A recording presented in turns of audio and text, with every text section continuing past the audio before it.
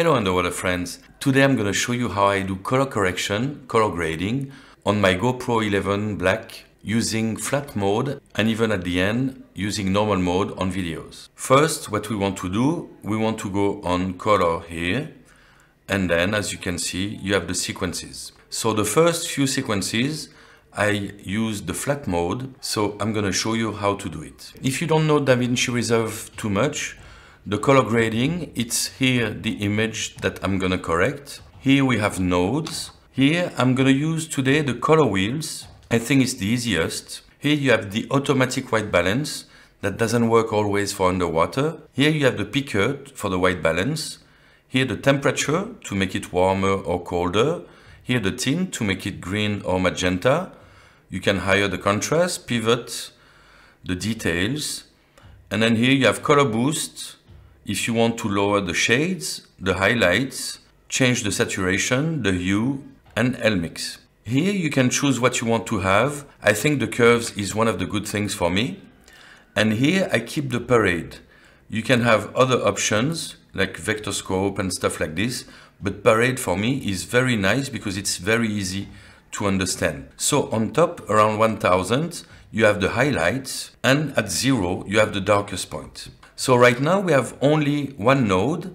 So what we're gonna do, we're gonna do Shift S and we're gonna add new nodes. To change the name, I right click and I do node label. So for this one, for example, I'm gonna call it uh, white balance, enter.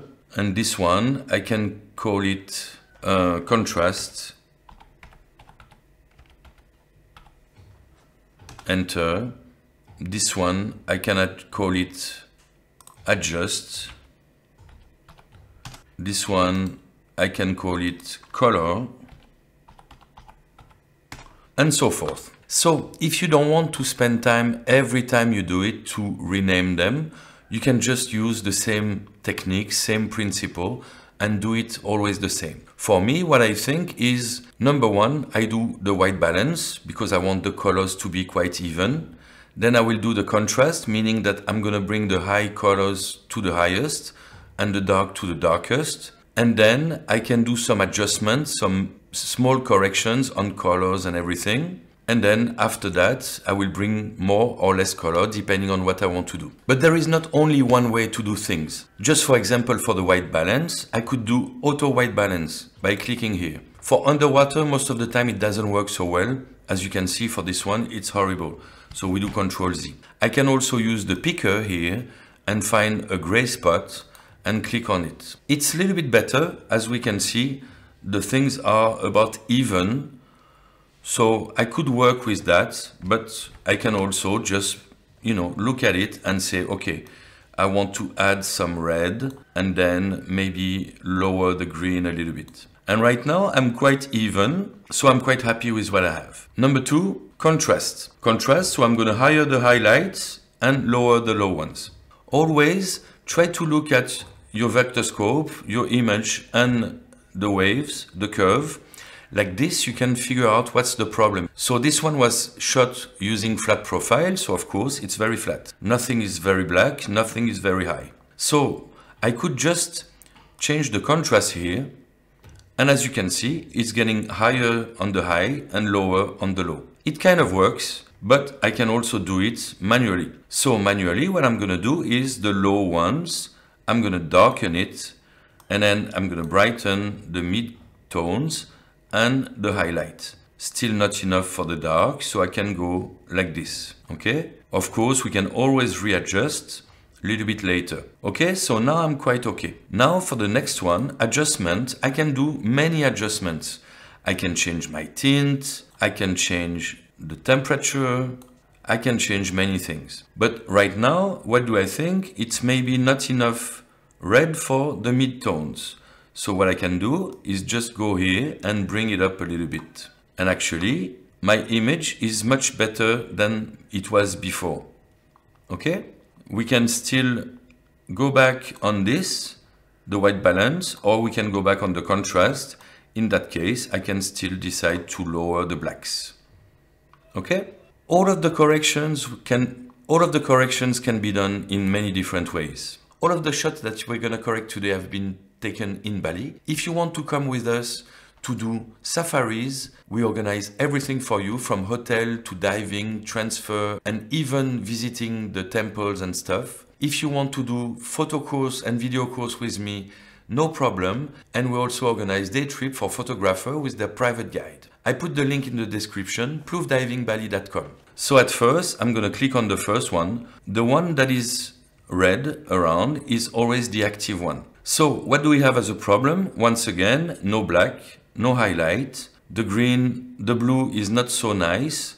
And this is probably too yellow. So maybe we can change the tint on this one. If we go this way, it's not good either because it's even worse than before. So we make it a little bit more blue. And on this one, we see that it's quite even, all of the colors. So maybe I can just change the tint because I think it's a little bit too green. And like this, I have something much better. By clicking here, I can see how it was before and after. Okay, with and without the correction. So maybe this one, it's still a little bit too green, too yellow. Okay, so we can go a little bit more. Okay, my white balance is done. Now I'm gonna do contrast. So I'm gonna lower the lows or I'm gonna actually try with contrast. And this one, it works much better. We just need now to lower it a little bit here with the wheel. Like this, everything will go down a little. Here we go. Now we see that we have too much green. So here on the adjustment, we can lower just the green. And here for color, we can decide that we want a little bit more saturation. And then we could do minor adjustments again. Next one, again, too much yellow, especially too much green and the blue is a little bit too much. So Shift S a few times. I make sure that I'm working on the first one. We're gonna do the white balance. So the white balance, we can do it with temperature and tint. But once again, we see here that we have a problem with blue. So we can already lower the blue. And now we see that we have even more problem with the yellow. So we can change the tint here and go away from the green there. Okay, so actually everything we've done here was to try to get this a little bit less green and a little bit less yellow to make it nicer. Now we see that we have too much high colors for the blue. That's going to be our next change for the contrast. So contrast, we can lower the dark like we've done before, but this time we see that we're peaking here. So we can just pick the blue one and lower it. You see now I'm not above anymore. But because I've done this, now it made the adjustment and the blue is not as present. So I can go on the third node and this time I'm gonna try to lower the greens. Okay, I have to go back to the second one because now it's a little bit too dark. So I can just higher the midtones a little bit and probably lower the highlights for the blue, but just the highlights a little bit. The problem is every time we're correcting it, it's adjusting the other ones as well. So what we can do on the next one is just readjust the white balance. So we can go again a little bit more on the blue. Okay? Because some of the adjustments we've done have affected the rest. And same thing here, probably there is too much red, so we can lower it a little bit. Okay, so it's much better now. Next one again, flat profile. This one is going to be difficult because it's all brown and we have the turtle in the middle and you can see the white balance seems to be quite okay. So Shift S. This one, for the white balance, I don't think we're going to do much, but we're going to try to do the manual white balance because it's a little bit too brown. So now it makes it a little bit too blue, but it's still a good start because now we can still decide to bring up the reds, and then make it a little bit warmer than it was. And maybe that way how is it compared to before? Well I think it's too much blue so we can lower it. It's gonna be difficult to make this one pop too much because the turtle and the background kind of look the same. Now we can work on the contrast. We want to lower the darks. And we want to higher the mid-tone, okay and then for the small adjustment, we can lower some of the greens. And I think it's already much better. Next one we're gonna do, this one was shot not using the flat profile. So we can see that this one is already using much more of the scope, you know, like it's almost peaking here and the darks are almost black. So again, Shift S, start this one with the white balance. Let's try an automatic one. Okay, this one it worked a little bit. Let's start from there. The second one, contrast. So we see that we're too dark for everything, so we're gonna higher it a little bit up to the point where nothing is lower and actually we're going to try to do it in different steps, meaning that the blue and the greens, we're going to do it that way. Same thing for the highlight. We're to lower just the blue for now because it's peaking a lot and a little bit of the green. Okay, so now it's a little bit better, but it became all green. So what we can do is we can adjust it from here. Okay, like this, we remove some of the green. And we can also remove some a little bit that way. Now we see that we're still a little bit peaking. So we can adjust here the highlights and lower it for all of it because we don't want to be peaking. If it's in the bottom, like for example is this zone, is too black. We can see it from here. But it's not really a problem because it's really black. But this was not supposed to be too bright. Maybe we can lower again a little bit of the dark and we have a nice contrast now. Final one. So what do we have on this one? We see that it's all too dark, but nothing is at the bottom. So we have a problem on this picture because the midtones are not bright enough. So let's start with white balance. So we pick the picker and then we go on there. So now it's very, very, very red. So Control Z, and let's try to pick another spot. Maybe here. Okay, way less, but now it's too green. So we can bring this one up and actually make it a little bit warmer. Okay, for white balance, we're quite okay. But as you've seen, we can always readjust. The first white balance is to try to be as even as possible. So we have all of the three, red, green and blue that are about the same level.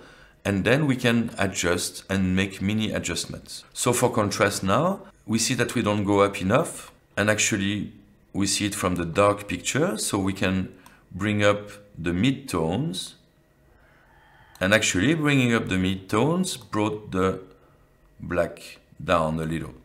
We can also bring the highlights and now we can see that our picture is much brighter.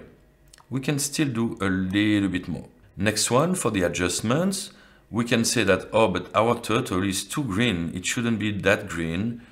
And the blue is not the way it should be. So we can lower the greens a little and maybe bring a little bit highlights and midtones for the red.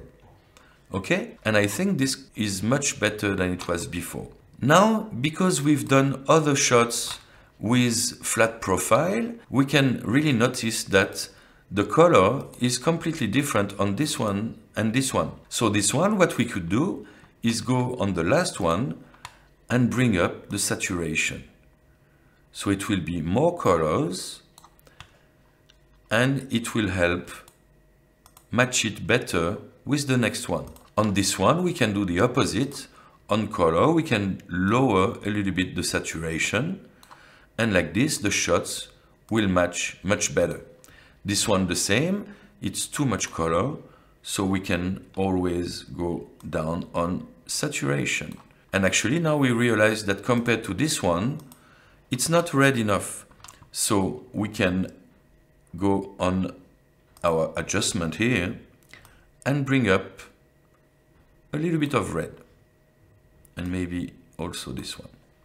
Okay, thanks for watching the video all the way to the end.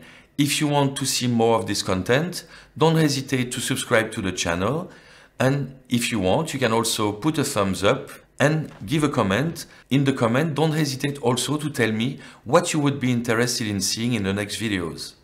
Bye bye, happy bubbles!